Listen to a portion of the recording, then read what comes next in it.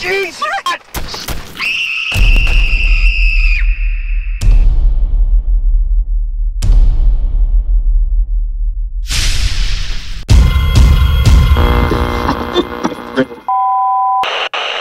In order to prosecute a revolution, you can't do it with kind words and everybody's happy and singing kumbaya. You got to have weaponry. And I'm telling you right now, we cannot be infiltrated. Why? Because we did infiltrated. Yeah, we got people on all levels of government. And what we also got is a list. That list contains over 200 names of who are trying to continue the suppression of the poor people. We are going to end that one by one. 200 are going to die. And these 200 are in politics, they're in government, they're in the police force. Hell, we got the CIA that we intend to take out. And guess what? Nobody can stop us. Stop us. Stop us.